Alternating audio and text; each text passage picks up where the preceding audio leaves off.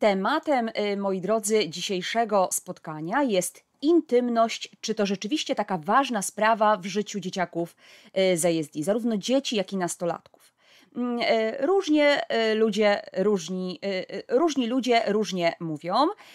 Niemniej jednak ja zebrałam troszeczkę te opinie w taką, w, w taką całość i chciałabym Wam przedstawić, jak to wygląda z perspektywy osób y, z ASD, y, z którymi miałam przyjemność rozmawiać, ale także y, na podstawie takich zaleceń specjalistów, ale także rodziców, jak oni też odbierają pewne kwestie i z czym mają, moi drodzy, największe trudności. Tym dzisiaj się podczas spotkania zajmiemy.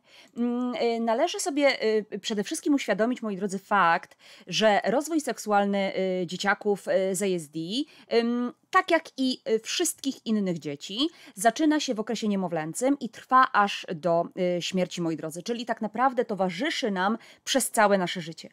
Y, Każdy etap oczywiście tego rozwoju seksualnego to jest ogromny obszar, tak?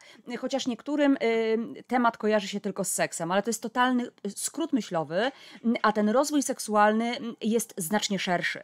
Niesie on ze sobą zmiany fizyczne, które zachodzą bezpośrednio w ciele każdego człowieka, ale także, który wiąże się bezpośrednio z wymaganiami takimi psychospołecznymi, które stawia y, przed nami życie y, i y, jakby nasze otoczenie, y, nasze y, takie wymogi społeczne, prawda?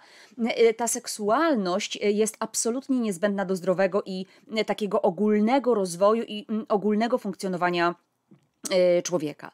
Y, Człowiek y, jest istotą seksualną na przestrzeni całego swojego życia. Z tym, że na etapie poszcze- po- poszczególnych jakby fragmentów naszego życia nieco inaczej ona wygląda i jakby na innych parametrach się skupia, moi drodzy. Ale tak jak wam powiedziałam, ten rozwój seksualny zaczyna się już w okresie niemowlęcym. Już wtedy dziecko, niemowlaczek jest przygotowywany tak naprawdę, jego ciało przygotowuje się mm, do, na dalsze etapy właśnie y, tej y, swojej y, seksualności.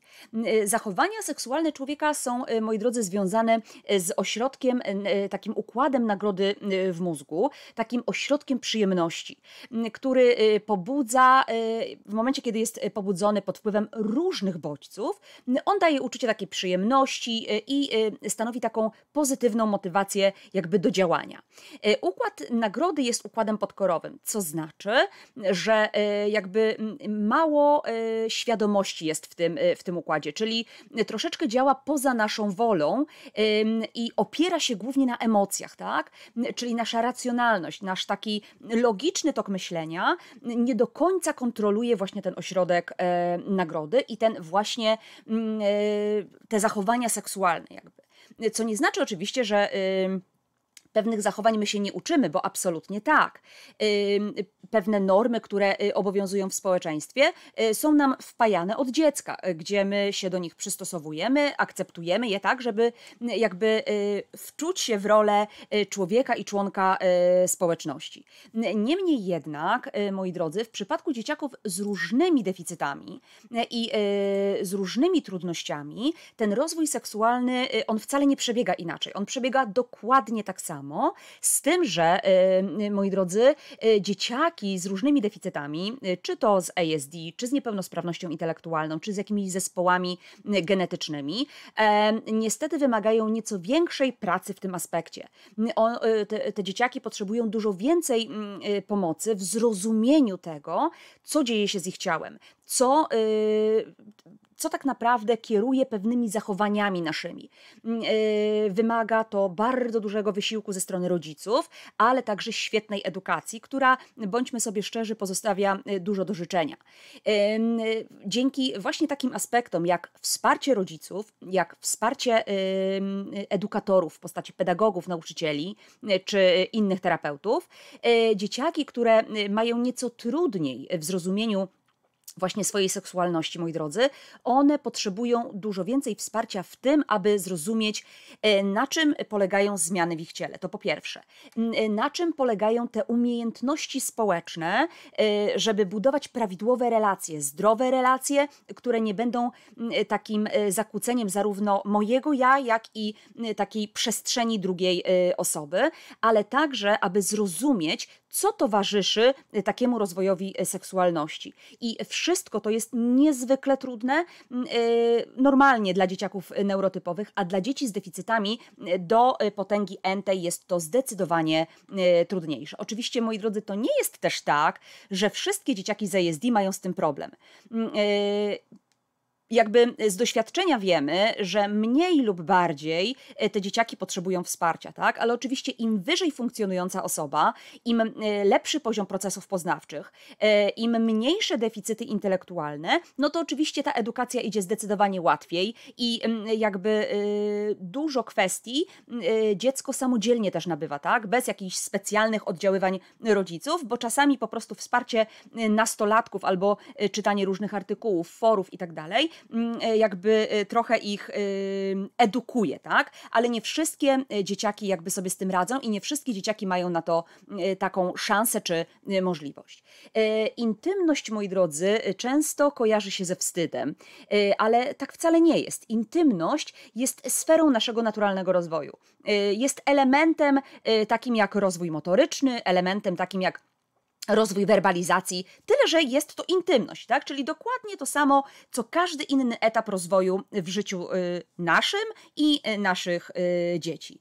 Mm, ta intymność, moi drodzy, jakby w, takim, w takiej definicji swojej, jest to, jest to taka sfera, do której dopuszczamy najbliższe osoby. Tak? To może być partner dla nas, rodzice, ewentualnie jakiś super kolega czy koleżanka na e, intymne relacje składają się, e, moi drodzy, i znowu, to jest takie e, wypłycanie tematu. Intymność to nie tylko seks, tak? Intymność, moi drodzy, to także wzajemne zrozumienie, to szacunek do siebie nawzajem, to budowanie prawidłowych relacji partnerskich, ale także zdolność i możliwość do dzielenia się przeżyć, które są jakby namaszczone takim szczęściem, taką radością. To także jest intymność, więc Sami widzicie, że e, e, pojęcie intymności nie sprowadza się tylko do tematu łóżka, jakbyśmy to brzydko e, mogli nazwać, tylko ma zdecydowanie szersze, szersze znaczenie. Temat intymności, czy rozwoju seksualnego, czy potrzeb seksualnych stanowi nadal, moi drodzy, taki temat tabu. Co to znaczy? To znaczy, że zarówno rodzicom, pedagogom, nauczycielom, ale także jakby e, innym osobom dorosłym, e, które mają kontakt z dziećmi i od których jakby wymagałoby się poruszenia takiego tematu, sprawia im to po prostu trudność z różnych względów. To może wynikać z tego, że sami jako dzieci nie mieli wsparcia ze, ze strony swoich rodziców, że także nie mieli szansy w uczestniczeniu w takich normalnych, pełnowartościowych lekcjach na temat takiego przygotowania do życia w rodzinie. W związku z tym albo wpajano im się ze względu na kulturę czy Y, jakieś y, aspekty religijne, że o tym się po prostu nie mówi, bo jest to wstydliwe, bo to jest fe i tak dalej. I jakby y, zostało im to w głowie i sam, sami teraz nie potrafią po prostu realizować takiej edukacji u swoich dzieci czy ze swoimi właśnie dziećmi. Mm, często jest też tak, moi drodzy, a właściwie zazwyczaj tak jest, że problem seksualności osób niepełnosprawnych nie jest krępujący dla nich samych. Jest krępujący właśnie dla ich opiekunów, dla ludzi y, dorosłych z ich otoczenia. To właśnie nam, rodzicom, y, nam, nauczycielom czy nam, terapeutom, jest y, czasami trudno zrozumieć, jak ja mam o tym porozmawiać, jak ja mam tu wytłumaczyć, jak ja mam mu o tym powiedzieć. Z drugiej strony, moi drodzy, spotykałam się z takimi opiniami e, albo takimi zdaniami ze strony osób dorosłych, że ale przecież ich ten temat nie dotyczy, y, ale przecież, y, przecież oni nie założą rodziny, ale przecież y, bez przesady nie będą o tym myśleć. Jak nie będą o tym myśleć, jak to jest naturalna kolej rzeczy, jest to etap naszego rozwoju. Mm, to, to nie jest tak, że w diagnozę autyzmu wpisany jest brak seksualności, moi drodzy. To jest właśnie błędny tok myślenia. Ta seksualność, powtórzę raz jeszcze, ona jest z naszymi dzieciakami, ona jest z naszymi nastolatkami, tylko że my dorośli często nieumiejętnie podchodzimy do tego tematu albo robimy z tego temat tajemnicę, sekret, na temat którego się nie rozmawia.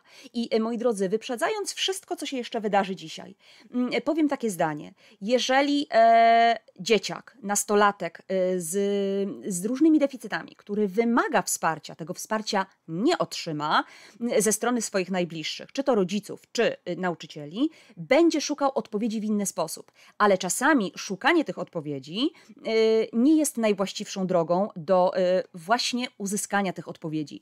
Często mm, takie poszukiwania kończą się eksperymentowaniem, które jest często bardzo niebezpieczne. I w związku z tym trzeba jakby się zastanowić, y, czy, y, moi drodzy, y, warto zwlekać z taką, z taką edukacją. Dzieci z ASD, moi drodzy, mają trudność ze zrozumieniem tego, co to są te sfery prywatne, co to są te sfery publiczne swojego ciała, co to jest ta intymność, jak odczytywać pewne sygnały o podłożu seksualnym i jak na nie we właściwy sposób reagować.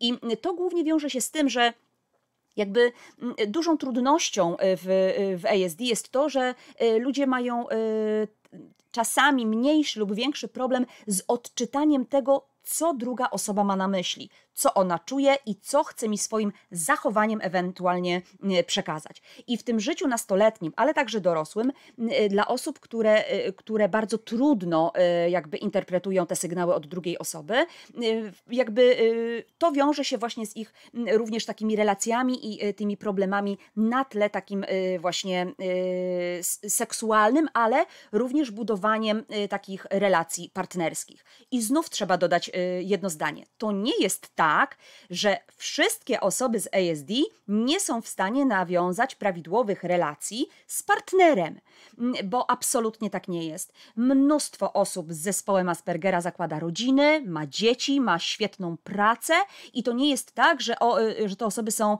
y, jakby wykluczone z tej kwestii y, funkcjonowania. Absolutnie nie. Bardziej dzisiaj będziemy się skupiali na, na, na dzieciakach na dzieciakach głównie, y, którym trzeba pomóc w zrozumieniu właśnie tych sfer y, intymnych, dlatego że jakby y, ze względu na swoje pewne deficyty związane z, ze spektrum autyzmu, mogą mieć też trudność z przyswojeniem tego typu wiedzy, czy rozumieniem pewnych zmian, które zachodzą w ich organizmie czy w ich życiu. Powiem tak, warto, moi drodzy, y, tą intymność y, czy seksualność y, u naszych dzieciaków traktować jako temat taki jak każdy inny. Czyli jeżeli rozmawiamy o tym, że e, moje ręce służą do e, pisania, że moje nogi służą do skakania i rozmawiamy o tym, tak, że czytam książki e, po to, żeby coś wiedzieć, dokładnie ta, ten temat intymności jest takim samym tematem. Dlatego, że powtarzam raz jeszcze, on towarzyszy naszemu życiu w sposób naturalny. I nie wolno unikać, moi drodzy, tematów właśnie związanych z intymnością, bo tak jak wcześniej Wam wyjaśniłam, dzieciaki będą szukały odpowiedzi, bo naturalną potrzebą jest ich ciekawość, jest chęć zadawania pytań, jest y, chęć poznawania własnego ciała i y, to jest absolutnie naturalna, mm, y, naturalna rzecz rozwojowa. Pamiętajmy o tym, że w momencie, kiedy dziecko zaczyna być odpieluchowywane i ma bardziej swobodny dostęp do swojego ciała, to ten etap seksualności y, zaczyna go pociągać, zaczyna go interesować, ale to nie dlatego, że y, powiemy, że on ma coś z głową, tylko dlatego, że to jest naturalne, że y, tak jak dotykał swoją rękę, jak wkładał swój, swoją rączkę do buzi, bo poznawał ją, tak samo będzie dotykał swoich intymnych części ciała. I to jest absolutnie naturalna kolej rzeczy w rozwoju dzieci po prostu. I nieważne, czy to dziecko jest z deficytem, czy jest dzieckiem neurotypowym, po prostu tak jest, bo to jest, tak jak Wam powtarzam, naturalne. Taki rozwój tej seksualności u dzieci właśnie pojawia się około trzeciego roku życia i tak naprawdę intensywnie trwa do około szóstego, siódmego roku życia. Potem się jakby taka potrzeba uświadamiania i poznawania się lekko wycisza i dopiero do głosu dochodzi w okresie dojrzewania, z tym, że często jeżeli ten pierwszy etap edukacyjno-poznawczy został gdzieś zaniedbany, to w tym okresie dojrzewania będzie on y, zdecydowanie nasilony i może przebiegać bardzo, bardzo y, intensywnie. Więc y, tak jak w terapii autyzmu mamy terapię małych kroczków, gdzie dajemy dziecku czas na osiągnięcie pewnych umiejętności, zrozumienie pewnych kwestii, dokładnie tak samo jest w przypadku właśnie tej intymności i seksualności. Musimy dać dziecku czas na oswojenie się z pewnymi rzeczami, na poznanie pewnych terminów czy własnego ciała, nic oczywiście na siłę. Więc im wcześniej zaczniemy taką e, edukację, tym lepiej dla e, rozwoju i funkcjonowania naszego, e, naszego dziecka, moi drodzy. Więc o tym warto jakby pamiętać.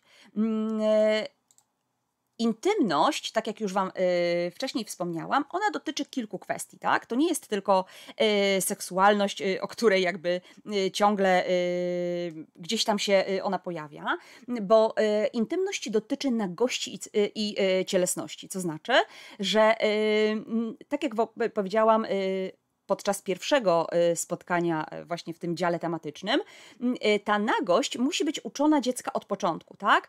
Czyli ta kwestia, gdzie mogę się rozebrać i co to znaczy być golaskiem, tak? Zaczynamy oczywiście najprostszej czynności, jaką jest kąpiel, gdzie wtedy informujemy dziecko, że idziesz się kąpać, jesteś w łazience, więc wtedy możesz być nago, tak? No bo w ubraniach się przecież nie kąpiemy.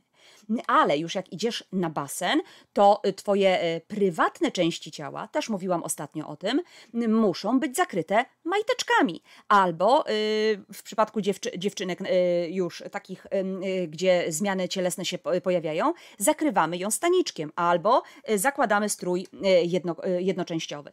I to dziecku trzeba tłumaczyć. Moi drodzy, często jest tak, że ta kwestia nagości, jeśli została pominięta wcześniej, okazuje się, że to taka sytuacja życiowa, z którą jakby miałam sama y, kontakt osobisty. Mm, y, brałam w tym udział, że y, u dziecka, u którego nie było poruszane jakby od początku wdrażany temat nagość, tu wychodzisz z łazienki, musisz być ubrany, doprowadziła do tego, że y, dziecko czteroletnie, wchodząc do basenu na wczasach, y, absolutnie nie chciał założyć kąpielówek, tak? Chłopiec.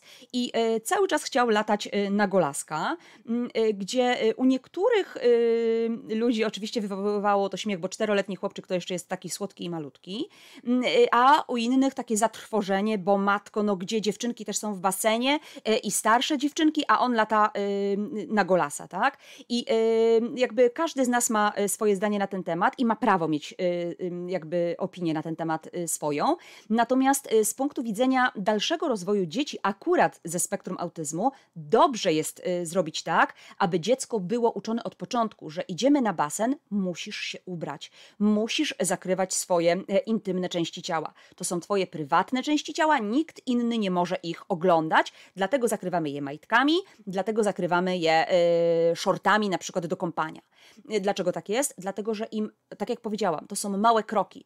Dziecko się musi przyzwyczajać, że w tym miejscu jestem ubrany. Jak jestem na plaży, to też się ubieram. Dlatego, że jak my zaczniemy edukację w wieku 16 lat u osoby, która jest bardzo nisko funkcjonująca, e, moi drodzy, może się to po prostu nie udać. I e, wtedy to już będzie krępujące, jak taki 16-latek nie będzie chciał nam założyć e, shortów do kąpania i będzie chciał biegać nago po plaży. E, wtedy będzie to krępujące i dla opiekunów, i dla otoczenia, które się blisko niego będzie znajdowało. W związku z tym, moi drodzy, ta nagość od początku musi być wdrażana w życie dziecka, określana. Jesteś nagi, nie masz ubranek, to w łazience, tak? Albo możesz się rozebrać, jak idziemy do pani doktor, która będzie sprawdzała, y, czy jesteś zdrowy. Takie kwestie omawiamy, że wtedy jest ta, y, ta ewentualność y, dopuszczalna, żeby się rozebrać.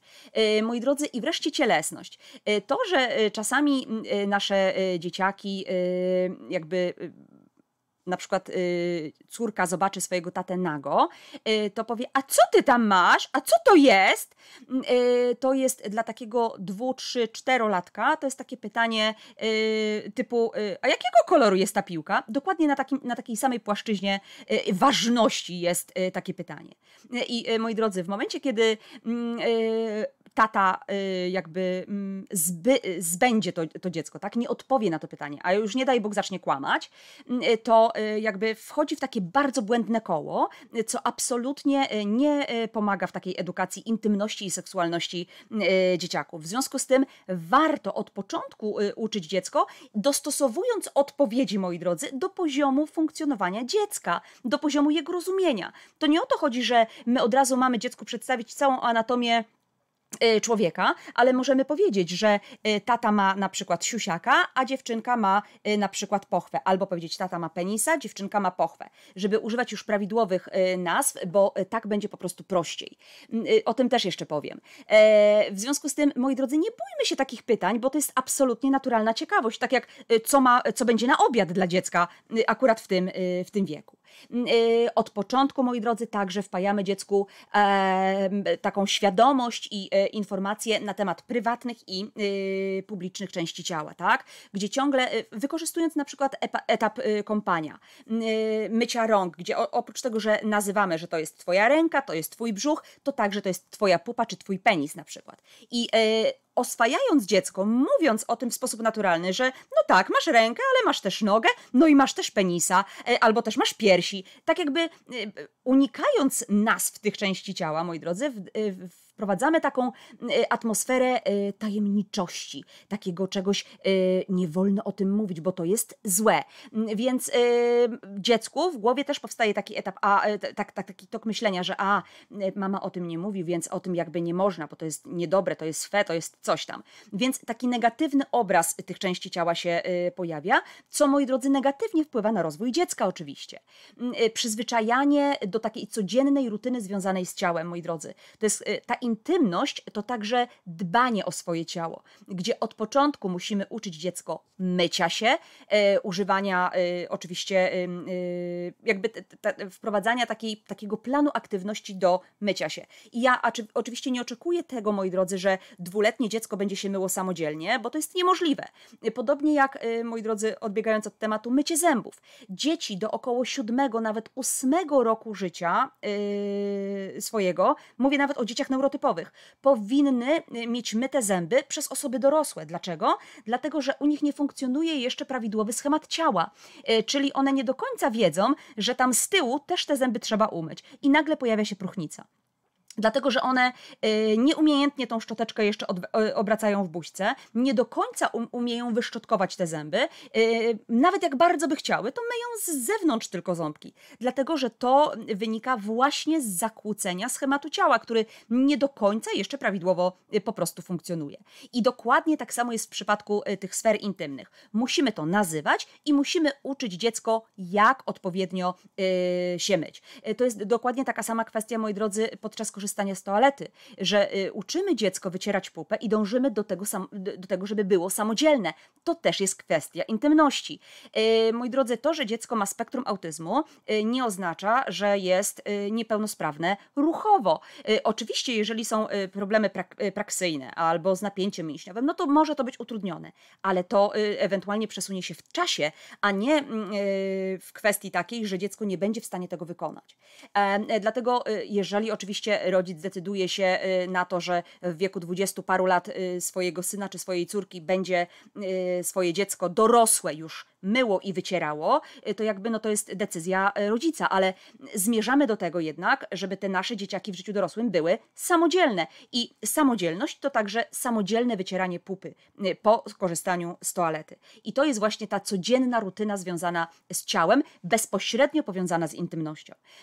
Wreszcie, moi drodzy, największe sekrety sekrety prywatności. Tutaj, y, moi drodzy, y, od początku wpajamy dzieciom już nawet nie kwestię y, tak, sfery intymnej, ale intymność to także nie podajemy nieznajomym swojego adresu zamieszkania, nie podajemy numeru telefonu i tak dalej, i tak dalej. To są te kwestie. Zaczynamy od prostych rzeczy związanych właśnie z intymnością. To jest coś prywatnego, coś, co należy do ciebie. Nikt nie musi o tym mm, szerzej wiedzieć. Z czasem oczywiście kiedy dziecko zaczyna być starsze, y, jakby bardziej zainteresowane, zadawać więcej pytań, y, wówczas y, jakby poszerzamy tą, te informacje o, y, o, o właśnie o tą sferę intymną, ale prywatność to jest właśnie taka podstawa, podstawowa kwestia. Nie musisz mówić adresu panu, który zapyta cię, a gdzie mieszkasz, tak? I do tego zmierzamy. Uczymy, że pewne rzeczy zachowujemy dla siebie. Y, Następnie, moi drodzy, y, zachowania seksualne. Y, Tutaj jest kwestia tego, że my musimy od początku uczyć dzieci. Inaczej, najpierw my musimy się nauczyć odczytywać sygnały, które płyną z ciała dziecka, y, tak naprawdę z jego zachowania. Y, Bo y, w przypadku na przykład masturbacji, która jest absolutnie rozwojowa do trzeciego, u niektórych dzieci do czwartego roku życia, później ona ustępuje naturalnie, natomiast u niektórych dzieci ona jest, staje się patologiczna, tak? W znaczeniu takim, że ona mm, staje się albo źródłem takiej, takiego wyciszenia, relaksu, bo dziecko poznało, że w ten sposób y, schodzą z niego napięcia, bodźce i lęk i czuje się usatysfakcjonowany i może dążyć do nieustannej takiej stymulacji. Mm, y, W przypadku starszych dzieciaków, nastolatków, e, mm, również y, może być to źródło takich emocji, e, jakby realizacji potrzeb seksualnych, ale to jest zupełnie inna kwestia. I ten temat y, jakby masturbacji to jest zupełnie inne spotkanie, y, bo, bo jest bardzo obszerny i dużo kwestii trzeba w tym y, aspekcie mm, poruszyć. Niemniej jednak do czego zmierzam? Y, Zdarza się tak, moi drodzy, że właściwie w większości przypadków tak się zdarza, że u naszych dzieciaków są takie zachowania przepowiada- przepowiadające i my się tych zachowań musimy nauczyć. E, W kwestii takiej, że jeżeli jakby wiemy, że dziecko często y, już patologicznie jakby y, stymuluje swoje narządy płciowe, y, bo na przykład jest wysokie napięcie, stres i tak dalej, to zazwyczaj ono się przymierza do realizacji tej czynności. Czyli e, są dzieciaki, które na przykład zaczynają układać poduszki na podłodze po to, żeby się na nich ułożyć, albo zaczynają zbierać na przykład, nie inaczej, mogą położyć na przykład dużą piłkę do rehabilitacji, jeżeli się na niej bawią i jeżeli wyczuły, że kładąc się na brzuszku na tej piłce, podskakując, też doprowadzają do takiego y, relaksu y, swojego, y, no to przyciąga na przykład tą piłkę, tak? I my wiemy, że za chwilę może nastąpić ten akt. Mm, Albo y, na przykład biorą konkretną maskotkę i wkładają ją sobie między, między nogi. Różne dzieci różnie to robią, niemniej jednak to są takie sygnały przepowiadające, że napięcie emocjonalne tych dzieci jest ogromne. Jest, m, układ nerwowy jest absolutnie przemęczony, przeładowany, przestymulowany i dziecko będzie musiało w jakiś sposób odreagować. A jeżeli poznało, że sposób masturbacji daje mu to wyciszenie, no to y, te przepowiadające y, informacje będą nas o tym powiadamiać. I wówczas, moi drodzy, jak widzimy, że zbliża się ten moment, y, bo dziecko ponownie wykonuje pewne czynności przygotowawcze, a nam to nie pasuje, e, wówczas możemy po prostu szybciej zareagować, tak? Czyli mm, y, jakby y, dajemy dziecku inne bodźcowanie, choćby poprzez y, y, czucie głębokie, tak? Czyli mocne przytulenie, wzięcie na kolana, żeby y, dać y, układowi nerwowemu się wyciszyć.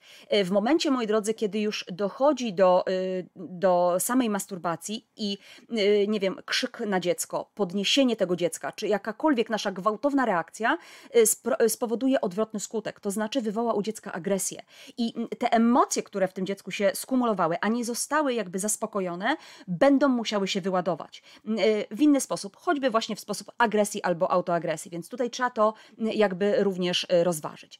Następna, i jakby zamykam temat, bo y, nie powiem, co mam dla Was y, na dzisiaj, tylko skupię się na, y, na, na tej jednej kwestii, a dużo rzeczy jeszcze chcę Wam opowiedzieć. Kwestia słownictwa, moi drodzy, którego używamy w stosunku do siebie. I tutaj znowu nie tylko chodzi o nazwy naszych części ciała, czy jakich używać, ale także, że w stosunku do drugiego człowieka odnosimy się z szacunkiem, że ten drugi człowiek ma swoją godność, oczywiście bez takich górnolotnych słów w przypadku niektórych dzieciaków, ale pokazujemy, moi drodzy, jak traktujemy drugiego człowieka, tak? Że słuchamy, że reagujemy i tak dalej, i tak dalej. I y, takim pierwszym taką pierwszą nauką słownictwa jest, moi drodzy, to, jak mama z tatą ze sobą rozmawiają, tak? E, z czym dziecko się spotyka. Jeżeli e, w domu mama z tatą bez przerwy na siebie krzyczą, używają e, różnych słów, takich, a nie innych, a dziecko będzie zdolne werbalizować, niekoniecznie musi się komunikować, ale werbalizować, czyli odtwarzać pewne dźwięki, pewne zwroty, dokładnie zacznie tak robić za jakiś czas i nie będzie nauczone takiego spokojnego komunikowania się z drugą osobą. Więc na początku musimy się zastanowić, y, jak my ze sobą rozmawiamy, żeby móc egzekwować pewne, czy uczyć y, pewnych właśnie zachowań takich społecznych nasze y, dzieci. I wreszcie, moi drodzy, poczucie wstydu i przyzwoitości. To jest kwestia, którą także od początku wpajamy w kontekście intymności, dlatego że dzieciaki z ASD z natury nie są wstydliwe. To znaczy, one nie do końca rozumieją, a właściwie wcale nie rozumieją, co to jest wstyd. Jakby w ogóle tego nie rozpatrują. Dlaczego? Dlatego, że wstyd, moi drodzy, wiąże się z rozumieniem pewnych norm i pewnych zasad, które o, jakby odgórnie obowiązują. A my wiemy, że odgórnie nasze dzieci po prostu nie rozumieją, e, przynajmniej na początku swojego rozwoju, e, tych, e, tych aspektów, tak? Co wolno, co nie wolno, co, co jest przyzwoite, co, a co nie. W związku z tym musimy uczyć dziecko właśnie wstydu żeby wiedziało, że czasami trzeba być wstydliwym w różnych, y, w różnych kontekstach, tak? Choćby to, że y, jak po domu y, chodzi twoja siostra, która jest od ciebie czy młodsza, czy starsza, nieważne, ale ona inaczej jej ciałko wygląda niż twoje, więc ona nie chodzi na golasa, tak? Nie chodzi nago. Ma swoje prywatne części zakryte, więc ty, Jasiu, też zakładasz majteczki, jak wychodzisz z toalety. Jak korzystasz, robisz siku, to oczywiście korzystamy z toalety, spłukujemy wodę, myjemy ręce, gasimy światło i oczywiście z łazienki wychodzimy ubrani. Nie, nie podciągamy się na korytarzu. Dlaczego? Dlatego, że jak my tego dziecka nie nauczymy, jak ono ma y, 3-4 lata, jak ono pójdzie do przedszkola czy do szkoły, to dokładnie tak samo będzie robiło. Czyli będzie wychodziło po prostu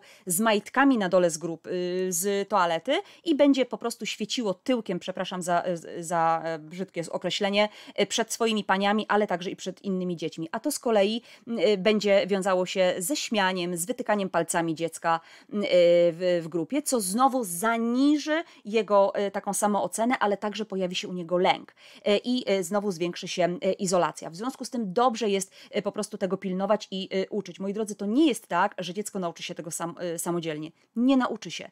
Ono musi się uczyć przez modelowanie. Pamiętajmy o tym, że nasze dzieciaki mają kłopot z naśladowaniem, mniejszy lub większy.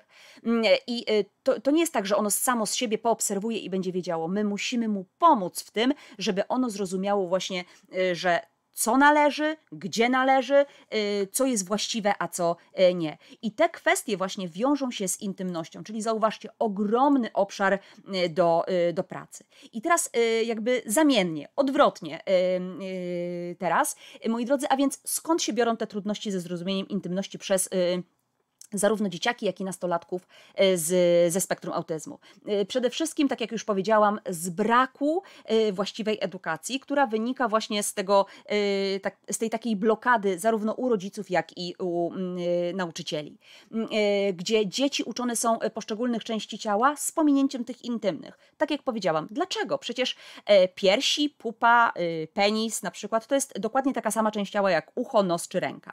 I więc nie mówmy dziecku, że to jest jest, y, że tego nie ma, e, albo że, y, że jest to mm, niewłaściwe, tylko uczmy, y, moi drodzy, wszystkich części ciała w sposób naturalny. I jak nie będziemy robić z tego wielkiego teatru i tego, że jesteśmy od razu y, strasznie y, poddenerwowani i w ogóle, y, jak ja mam to powiedzieć, to w sposób naturalny po prostu dziecko przyswoi te y, informacje. Y, nie wiemy też y, czasami jako rodzice, jak tak naprawdę mam uczyć, jakich nazw mam uczyć to moje dziecko, tak? Czy to mają być nazwy jakieś fachowe, rozdrabniające się na części pierwsze, czy jakieś ogólne, a może zabawne, takie infantylne, a może wulgarne.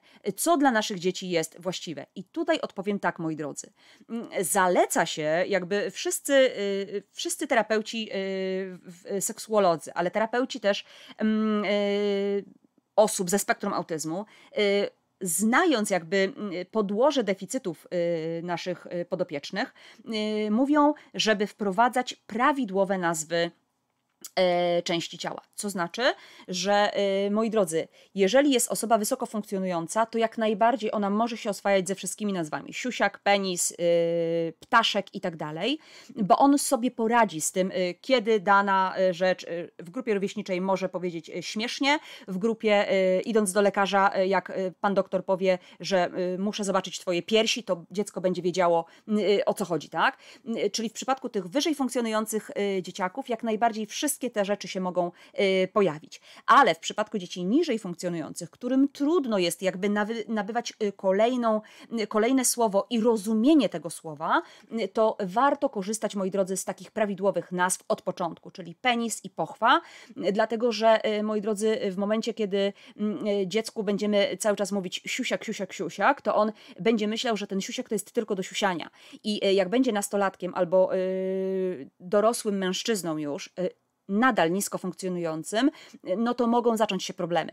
Więc y, podobnie dziewczynka, y, jak będzie jakaś psisia i tak dalej, y, zamiast y, pochwa, dziewczynka z ASD także kiedyś trafi do ginekologa, bo będzie musiała iść do tego ginekologa dla własnego zdrowia.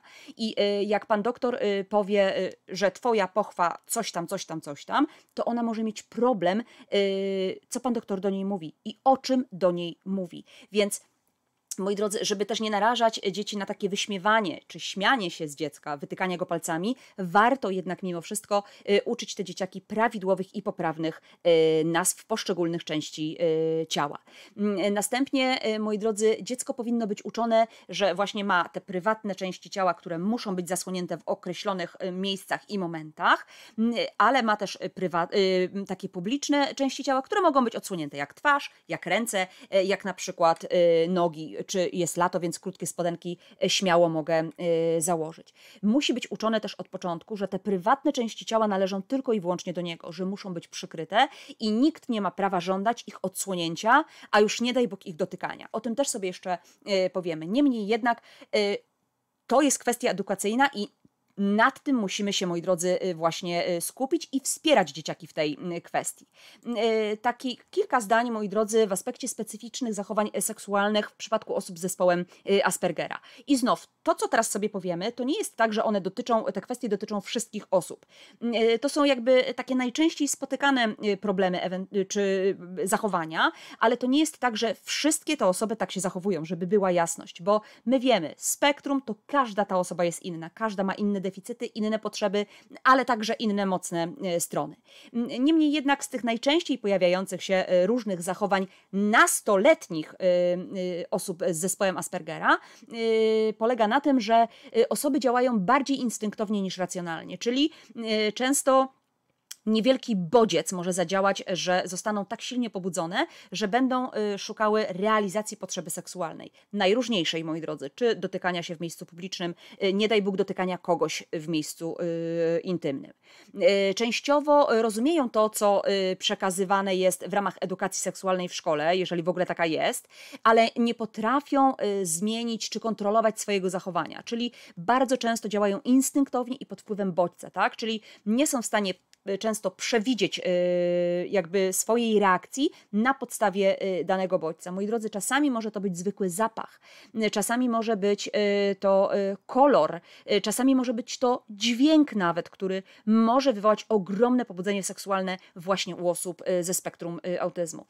Y, Czytałam kiedyś taki artykuł, moi drodzy, gdzie mama y, całe życie spała ze swoim synem.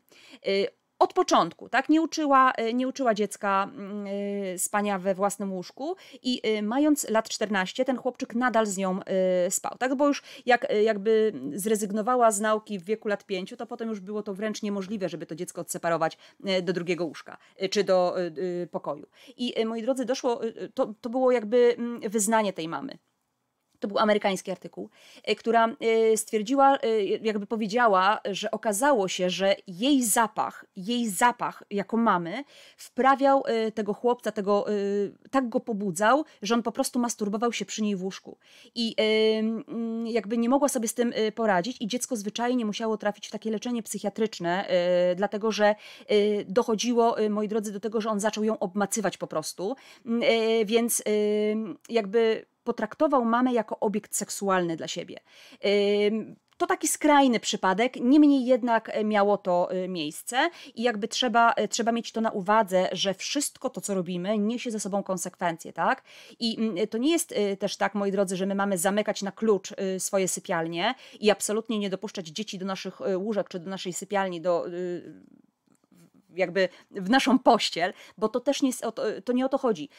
Nie można popadać z ekstremy w ekstremę. Czasami dziecko ma tak silne emocje, choćby lękowe, że akurat w środku nocy będzie potrzebowało przyjść do nas, bo będzie bardzo wystraszone, tak? I będzie potrzebowało wsparcia. Więc absolutnie nie zamykamy drzwi na klucz naszej sypialni w nocy, bo być może dziecko będzie potrzebowało naszego y, wsparcia.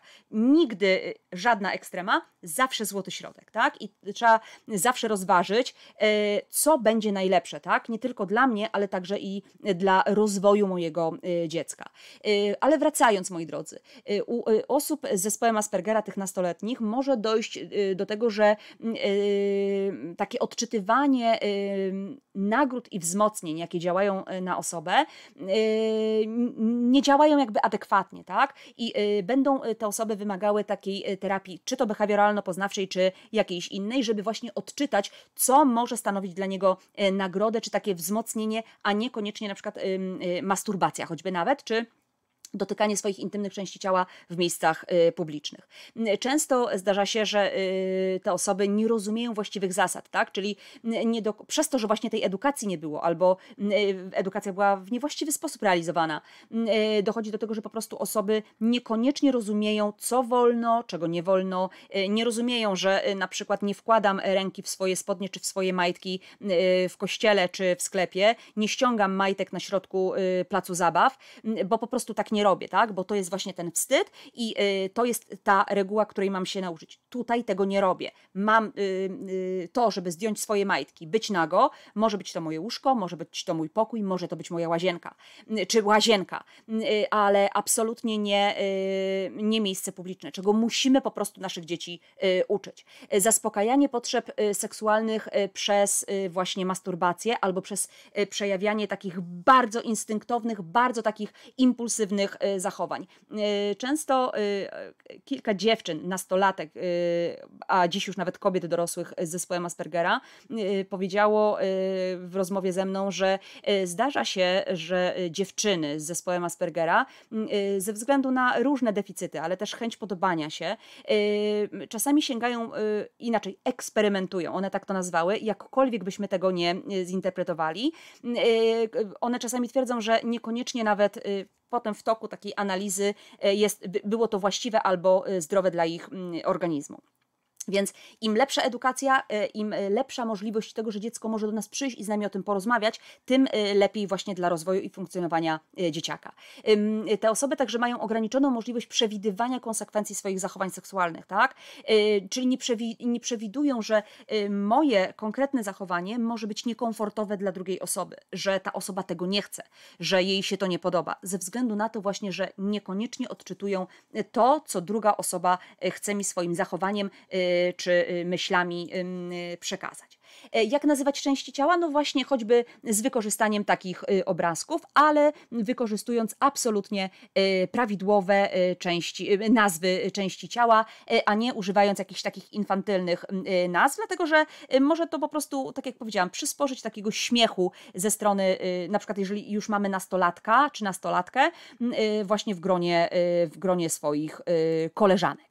Moi drodzy, cudowną pomocą, y, którą zalecam i polecam z całego serca, y, są zestawy, co warto wiedzieć y, o sobie. Są to takie karty pracy dostosowane do różnego poziomu funkcjonowania dzieciaków, napisane i stworzone te karty są przez Izabelę Fornalik. Bardzo gorąco polecam, ja z nich korzystam w, w swojej pracy i y, uważam, że to jest jedna z lepszych pomocy na rynku właśnie w tym y, kierunku. Także jeżeli y, mamy, są wśród nas terapeuci, którzy pracują z dzieciakami, ale rodzice również, to warto sobie, moi drodzy, wyposażyć się właśnie w taką pomoc, bo dużo może pomóc właśnie w realizacji takich tematów. Także, moi drodzy, polecam tą pomoc.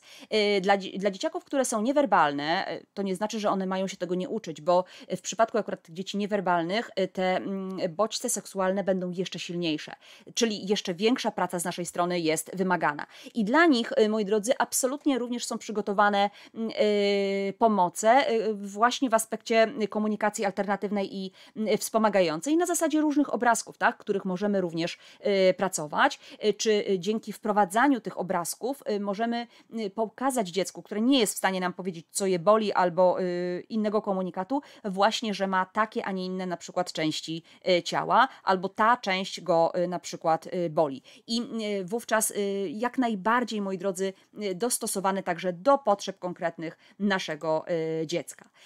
Aby zrozumieć, co to są prywatne i publiczne części ciała, moi drodzy, przede wszystkim nastolatek, a właściwie wcześniej dziecko, musi wiedzieć, że coś takiego ma i wiedzieć, jak się to nazywa. To jest przede wszystkim e, pierwsza, jakby taka podstawowa rzecz. Dziecko musi wiedzieć, jak ta część się nazywa. E, potem z czasem dopiero wiedzieć, że ją się przykrywa, że to jest część intymna. E, musimy zapoznać się także, moi drodzy, z tymi prywatnymi i publicznymi miejscami, gdzie mogę te prywatne swoje części ciała odkrywać. I moi drodzy, znowu kwestia jest ogromnie szeroka, bo jeżeli mamy dom, który jest malutki, mamy, nie mamy możliwości lokalowych i na przykład mamy dwójkę, trójkę dzieci w jednym pomieszczeniu.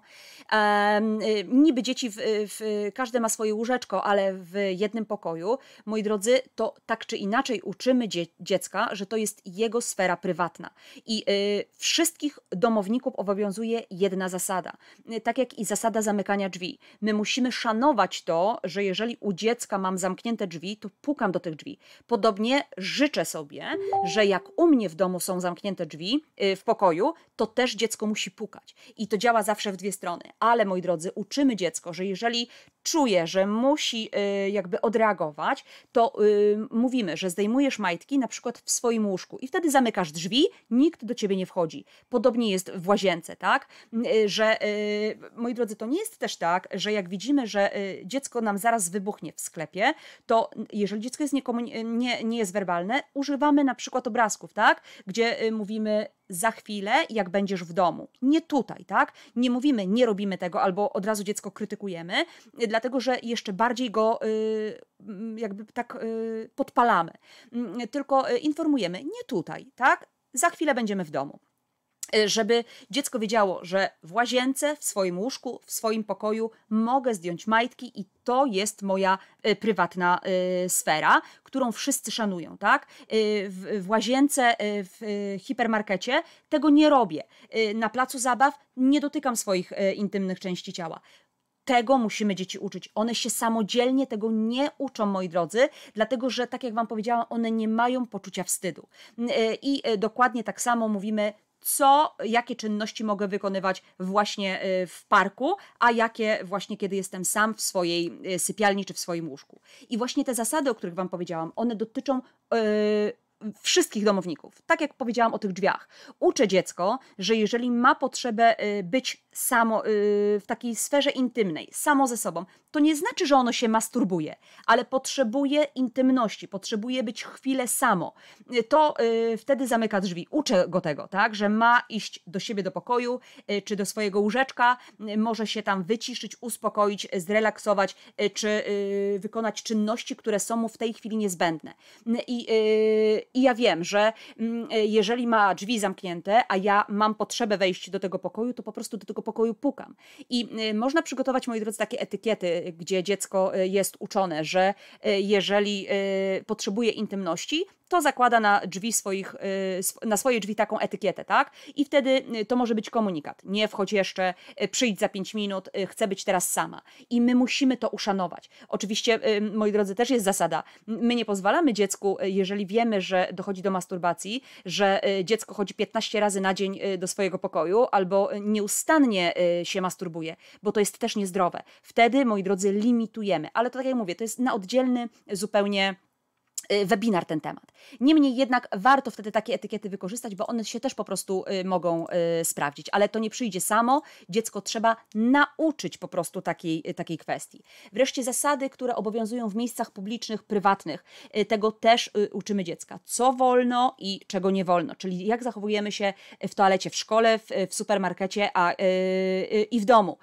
Czyli, moi drodzy, zasada jest taka, że wchodząc y, do toalety, dopiero jak zamknę drzwi, zdejmuję y, swoje y, spodnie czy majtki i jak wychodzę z tej toalety, to te majtki i spodnie muszą być założone. Czy to jest toaleta w szkole, czy to jest toaleta właśnie w hipermarkecie, czy w domu. Po prostu taka jest zasada. Następnie, moi drodzy, jak zachowujemy się w miejscach publicznych podczas korzystania z toalety, czyli zawsze zamykamy za sobą drzwi. Jak wchodzimy do toalety, zamykamy za sobą drzwi. Nie wolno ich otwierać. I wtedy dopiero się rozbieramy.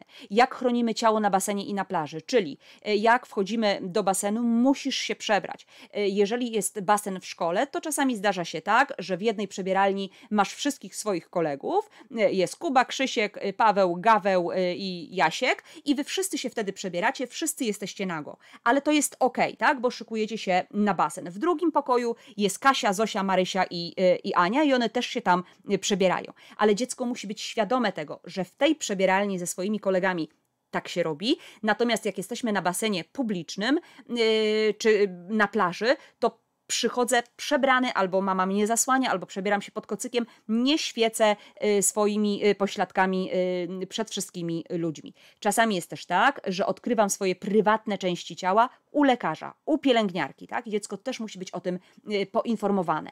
Mm, podobnie, moi drodzy, mówimy właśnie to poczucie wstydu, tak? które jest bardzo trudne do zrozumienia, bo wiąże się z tymi zasadami społecznymi, ale też uczymy dziecko, jak należy dbać o tą y, intymność i kiedy y, się y, wstydzimy, tak? Kiedy pewne sytuacje mogą być krępujące po prostu dla otoczenia, ale i dla, dla samego dziecka. Pamiętajmy o tym, że jedno na pięcioro dzieci z, z, jakby pada ofiarą różnych form wykorzystywania seksualnego i przemocy. W przypadku dzieci z różnymi niepełnosprawnościami, nie tylko ze spektrum autyzmu. Moi drodzy, również, albo bym powiedziała, w większości przypadków są to dzieci z różnymi deficytami które właśnie są wykorzystywane y, seksualnie w różnoraki sposób. Y, przez to, że one nie wiedzą, że pewien dotyk jest niewłaściwy, że pewnych rzeczy nie wolno, a potem jeszcze dodatkowo y, sprawca, który powie, że to jest moja tajemnica, sprawia, że dziecko zaczyna się trochę bać, tak? I ono nie mówi o tym nikomu. Dlatego my musimy dziecko w tej kwestii również mm, uświadamiać. I moi drodzy, tutaj akurat jest kwestia absolutnie wszystkich tych dzieciaków, nawet tych dzieciaków e, ze spektrum autyzmu, które są dziećmi wysoko funkcjonującymi. Mam tutaj na myśli osoby z zespołem Aspergera. One też muszą być uczone tego, że nikt nie ma prawa żądać od nich na przykład rozebrania się, albo nikt nie ma prawa żądać tego, że, y, żeby y, ta nastolatka czy ten nastolatek dotykał intymnych części ciała kogoś innego. Nie daj Bóg, ktoś dotykał jej intymnych części ciała, kogo nie zna. Yy, tylko tutaj nie zna w znaczeniu moi drodzy, bo, bo, czasami sprawcami są też osoby z najbliższego otoczenia, tak? Ale yy, to jest kwestia tego, że czuję się komfortowo, nie boję się, jestem szczęśliwa i radosna. Wtedy jest to ok, tak? Yy, I yy, takich rzeczy jakby musimy uczulać nasze dzieciaki na to, bo, yy, bo może dojść po prostu do tragedii. Musimy pamiętać, że dziecko nigdy nie jest za małe, żeby nauczyć go właśnie takiej zasady bielizny, o której zaraz Wam szczegółowo powiem. To jest zasada, która akurat w szkołach angielskich jest wprowadzana obligatoryjnie na lekcjach właśnie takiego wychowania seksualnego i dzieciaki są po prostu uczone według tej zasady, jak postępować albo jak rozróżniać te prywatne i publiczne części ciała e, i jakby wszystko w tym aspekcie na zasadzie tej właśnie e, zasady, moi drodzy. E, nie wolno nam robić tak, że nie, chcemy, nie rozmawiamy z dziećmi, pomijamy te tematy albo lekceważymy te tematy, bo przysporzymy potem w przyszłości dzieciom, dziecku sporo problemów. Niektóre dzieci z autyzmem, one nie lubią, moi drodzy, kontaktu fizycznego ze względu na swoją sensorykę, tak? Albo nie lubią delikatnego dotyku, albo generalnie w ogóle nie lubią dotyku. I mają do tego prawo, czyli wtedy musimy pokazać dziecku, że jeżeli ono nie chce być pocałowane przez swoją babcię, to ma powiedzieć nie dziękuję albo wysunąć rękę, tak? Żeby nie pojawiły się zachowania agresywne, bo babcia przyjechała i bardzo się stęskniła za wnuczkiem i go tu będzie zaraz całować po, po całej głowie, a on paruje mu aż złość uszami i przeszywa go ogromny ból, tak? Ze względu na to, na ten dotyk, na, na ślinę z pocałunku. I to jest kwestia tego, żeby nauczyć dziecka właściwego zachowania, tak? Że powiedzieć nie dziękuję, nie chcę, żebyś mnie całowała, podaj mi rękę, tak? Nawet jeżeli dziecko nie werbalizuje, to nauczymy go gestu, że nie chce tego i wyciąga rękę do y, przywitania. Zawsze y, uczymy właśnie tych granic, gdzie jest dobry, gdzie zły dotyk. Pani doktor, jak mnie bada, no to musi mnie dotknąć, no bo sprawdza, czy jestem zdrowy, tak? I y, Y, to jest kwestia bezpieczeństwa naszych dzieci. One muszą być tego. Y, oczywiście specjalna edukacja powinna być w szkole właśnie w tej kwestii, żeby uczyć dzieciaki rozumienia tego złego i dobrego y, dotyku. Im więcej dziecko wie, tym jest bezpieczniejsze. No i moi drodzy, ta właśnie zasada bielizny składa się z takich reguł, które wpajamy dziecku, że właśnie bielizna przykrywa nasze intymne części, części ciała. By, bo bielizna to literka B, czyli baczne strzeżenie swoich prywatnych części ciała. Dużo już o tym powiedzieliśmy. Generalnie chodzi o to, że dziecko musi wiedzieć, że jego prywatne części ciała należą tylko do niego i nikt nie ma prawa ingerować w te jego prywatne części ciała, ich dotykać, ich oglądać, nie daj Bóg fotografować, tak? Że y, to jest, y, że, że tak po prostu nie wolno, to, to jest złe, nie, nie wolno tak robić. Y, nikt nie ma prawa zmuszać dziecka do robienia czegokolwiek w sferze takiej intymnej, jeśli coś sprawia dziecku dyskomfort, jeśli dziecko się czegoś boi, jeśli czuje się yy, takie zdezorientowane. Yy, dzieci yy, zawsze muszą wiedzieć, tak, że intymne części ciała przykrywamy i tylko w swoich prywatnych jakby miejscach je odsłaniamy. Tego musimy y, uczyć. A jeżeli dojdzie do jakiegoś incydentu, że ktoś, komu niekoniecznie ufa, albo y, bało się w danej sytuacji, próbował zrobić czynności, które mu się nie podobały, musi o tym powiedzieć. Albo y, uczymy dziecko, że ma zacząć krzyczeć i wołać o pomoc, tak? Czy uciekać. I to jest taki gwarant tego, żeby zabezpieczyć nasze dziecko na przyszłość. By jak baczne strzeżenie swoich prywatnych części ciała. By i, ele, i, zyny, a, czyli mamy i, inni też mają prywatne części ciała i muszę je szanować. Dokładnie tak samo, gdzie, yy, moi drodzy, często chłopcy, ja, ja, się w swojej pracy z tym spotykam, yy, mają taką tendencję, że jak yy, przychodzą na przykład yy, na terapię, y, ta, takie starsze chłopaki już, y, na przykład dziesięciolatki, y, i tak dalej, mają tendencję do tego, że na przykład nie podają ręki, tylko przychodzą, to już się nie dzieje, ale zdarza się, że tak się działo, o, e, przychodziły e, i na przykład e, kładły ręce na, na piersi terapeuty, tak? I, bo nikt im tego nie powiedział, że tak nie wolno, że to jest moja prywatna część ciała i ona należy tylko do mnie. To jest właśnie ta kwestia. Szanujemy się, tak? Chcę, żeby ktoś szanował moje części ciała, ale ja muszę szanować też inne. Czyli, moi drodzy, nie pozwalamy dziecku, jak przychodzi ciocia, babcia, żeby dziecko dotykało naszą, swoją babcię po piersiach, po pupie, dlatego że tą umiejętność umiejętność uogólni w końcu i przełoży na osoby choćby w sklepie. Więc y, jakby y, od początku wpajamy, że y, ty masz intymne części ciała i ktoś inny też ma do nich prawo. Że nie wolno ich, trzeba szanować właśnie te intymne części ciała drugiej osoby. E, czyli elementy prywatnych części ciała, zakrywamy bielizną. To, o czym powiedziałam. Wpajamy, że dziewczynki noszą staniki, zakrywają piersi, czy to na basenie, czy na plaży na przykład. Chłopcy chłopcy mają y, majtki, y, gdzie y, również je noszą w odpowiednich sytuacjach, o których już wcześniej sobie, moi drodzy, powiedzieliśmy. Czyli E jak elementy prywatne zakrywamy właśnie bielizną. L lubisz swoje ciało, więc dbaj o nie. I tutaj, moi drodzy, w kontekście takim, żeby właśnie między innymi odczytywać te bodźce przepowiadające wyładowania, mm, że właśnie ewentualne limitowanie y, masturbacji, ewentualne dostarczanie innych bodźców, które pozwolą dziecku się wyciszyć, zregenerować. Mm, y, to jest ta kwestia, tak, że y, nie robimy sobie krzywdy, nie sprawiamy sobie bólu, mm, bo, bo to nie tędy droga. To jest ta kwestia, że musimy dziecko uczyć realizacji potrzeb seksualnych w odpowiednim miejscu, w odpowiednim czasie. Mm, To, o czym wspomniałam Wam już wcześniej. Takich zachowań społecznych, tak, w którym miejscu jaką czynność mogę e, wykonać. E, Kolejna litera e, to I, czyli intymność, to bliskość, na którą decydujesz się sam, sama, a nie pod przymusem. I to jest jakby znowu takie, taka kwestia zabezpieczenia naszych dzieci, że są dobre i złe sekrety, tak? Jeżeli ktoś mówi, na przykład doszło do jakiejś sytuacji, gdzie nie czułeś się komfortowo i ktoś powiedział, to jest nasza tajemnica, a ty y, nie czułeś się z tym dobrze, bałeś się albo może byłeś zły, mów o tym natychmiast. To może być pani nauczycielka, to może być two, y, twoja siostra, to mogę być mama czy tata. Y, W każdym razie powiedz o tym y, komuś, komu ufasz, tak? Po to jesteśmy i chcemy ci pomagać. I oczywiście, moi drodzy, zawsze pracujemy nad tym, że nigdy to nie jest twoja wina. Ty nie jesteś winny temu, że ktoś y, próbował coś zrobić albo zmusić cię do wykonania y, czegoś, ale od początku musimy dziecko y, w tej kwestii po prostu uczulać. Kolejna litera to Z. Mm, Zawsze mów, co czujesz i z czym się nie zgadzasz. Że wszystkie sytuacje wywołujące u ciebie lęk, strach, frustrację są sytuacji, sytuacjami niewłaściwymi. I tu, moi drodzy, w kontekście nie tylko seksualności, ale każdej innej sytuacji bo na przykład Kuba popchnął mnie, tak? I czułem, przestraszyłem się, boję się go. Niech też o tym dziecko nam mówi. Uczmy, że w sytuacjach, kiedy czujesz się niekomfortowo, kiedy cię coś boli, jesteś mm, wystraszony, mów nam o tym. Potem, jak dziecko zaufa nam, yy, bo wie, że ma w nas wsparcie, to w takich kwestiach, które nie daj Bóg by się wydarzyły, też do nas przyjdzie. Yy, Też będzie yy, jakby powie y, o, o, takiej y, sytuacji, tak? Y, Oczywiście, tak jak Wam mówię, zawsze rozgraniczamy, że są dobre i złe dotyki. Dobry dotyk to na przykład jak przechodzę przez ulicę, musisz mi dać rękę, żeby nie wpaść pod samochód, tak?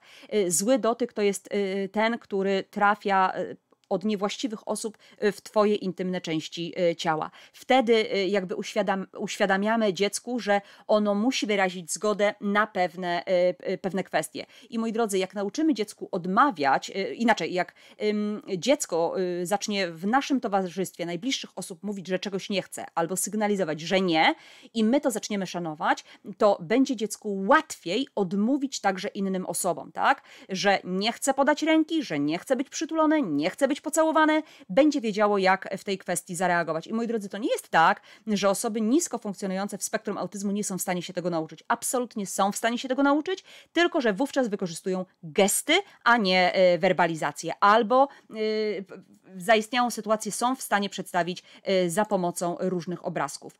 Kolejna litera to N. Nie zawsze znaczy, za, zawsze znaczy nie. Czyli dziecko, tak jak wszyscy inni e, ludzie, mają prawo do tego, że czegoś nie lubi, że czegoś nie chce i na coś się nie zgadza. I tutaj e, właśnie pokazanie dziecku gestu nie, czy stop ręką, musi się dziecko tego nauczyć w danych sytuacjach, jak czegoś nie akceptuje, coś nie jest komfortowe dla niego, coś, co wywołuje w, niego, w nim gniew albo e, lęk, żeby to komunikowało, tak? I my, ma prawo do tego, żeby powiedzieć, że nie chce wody, tylko chce sok, tak? I to jest ta pierwsza droga do wprowadzania czy rozumienia przez dziecko kwestii, że ma prawo e, mieć odmienne zdanie, ma prawo z czymś się nie zgadzać, bo, bo ma po prostu do tego prawo, o tak to nazwijmy.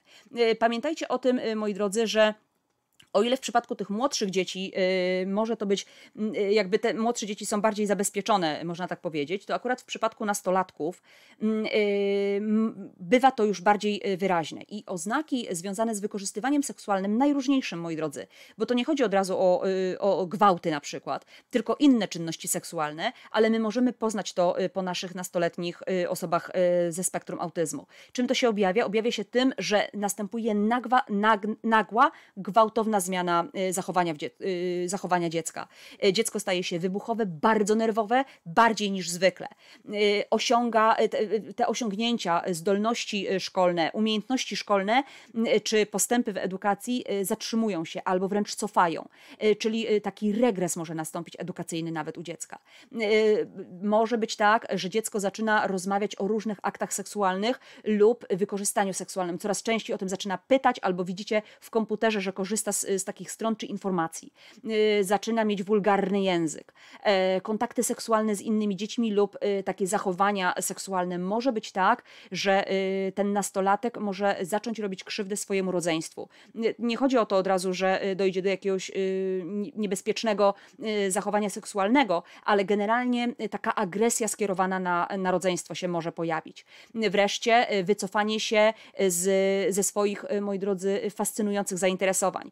Jeżeli mamy dziecko, które ubóstwia czytać strony internetowe dotyczące jakichś kwestii geograficznych czy matematycznych i nagle zaprzestaje, nie jest w ogóle zainteresowany tą tematyką, której poświęcał całe, wszystkie wolne chwile, to jest to sygnał, że albo jest to stan depresyjny, albo może się coś złego wydarzyło.